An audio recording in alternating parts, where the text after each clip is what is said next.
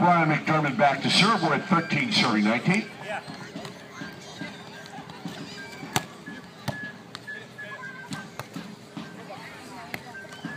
Anderson